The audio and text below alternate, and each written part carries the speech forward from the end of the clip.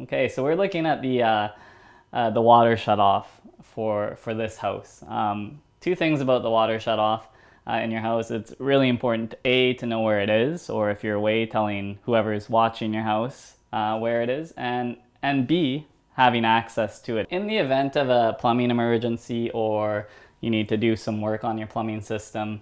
Um, this is the shutoff right here. Um, uh, sometimes they they look a little different from that, but in the end, they're all valves. They're all designed to eliminate water flowing through the rest of the pipes within your house.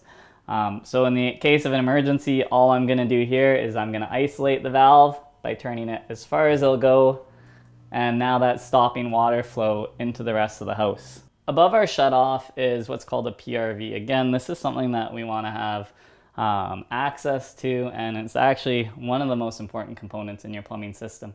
What a PRV is, PRV stands for pressure reducing valve, is a valve that lowers the pressure of water coming in from the district or city um, to a good operating pressure within your household.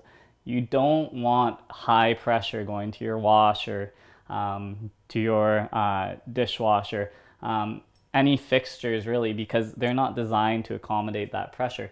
So when this PRV goes, and they do, you want to look for signs um, like pressure out of your faucet coming out really strong and then dwindling as it runs, or a toilet running.